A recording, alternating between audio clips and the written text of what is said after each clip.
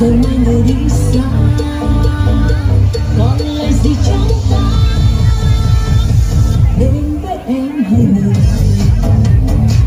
ta say đắm bên nhau rồi mai người đi xa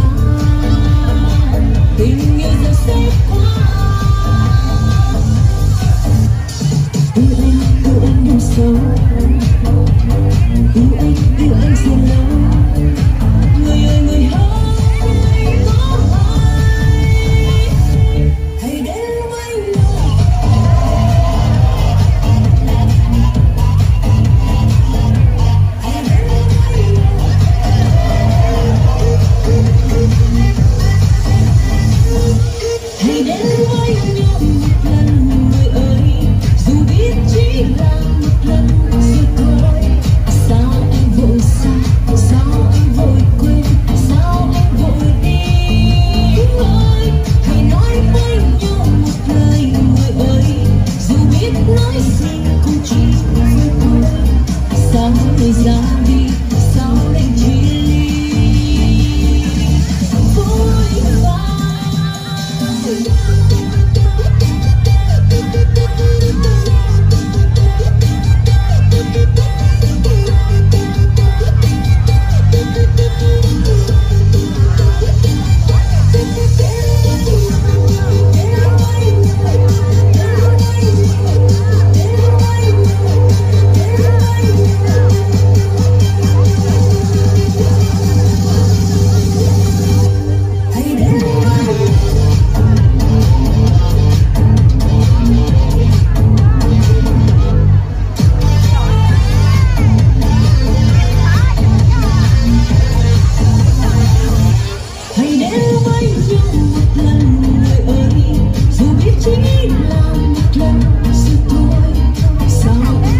Thank you.